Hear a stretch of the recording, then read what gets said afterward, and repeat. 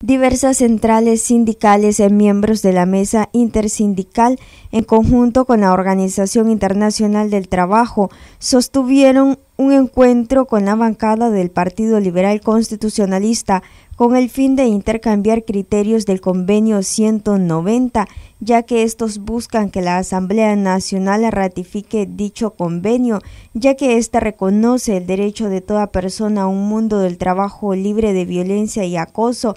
Vamos a presentar una solicitud ante la directiva de la, Asamblea Nacional para que eh, salga del, eh, del, trámite, ¿verdad? Para agilizar agilizar el proceso de la ratificación en la Asamblea Nacional. Nosotros creemos de que ya Nicaragua es el momento, de, eh, queremos que se acelere la hoja de ruta de, para que llegue a la Asamblea Nacional y se pueda poner en el orden del día. En Nicaragua, en diferentes sectores se han registrado denuncias de violencia y acoso, afirmaron los sindicalistas. De, de ese protocolo en el sector de la del, eh, eh, eh, de, la justicia provocó que un, que un juez fuera destituido, un juez de aquí del, del departamento de Managua.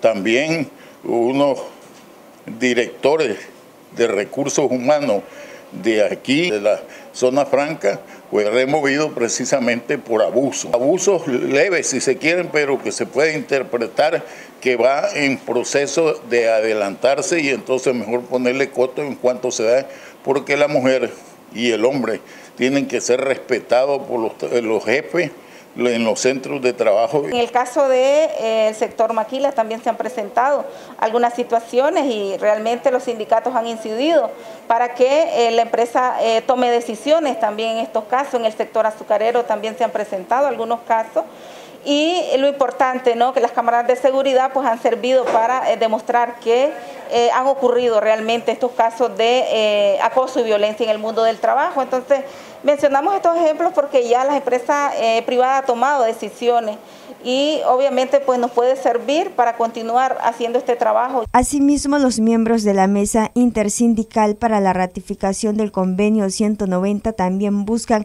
acercamiento con la bancada del Frente Sandinista para abordar sobre dicho convenio. El convenio 190 fue adoptado en junio de 2019 en la Conferencia Internacional del Trabajo en Ginebra, Suiza. Noticias 12, Darlene Telles.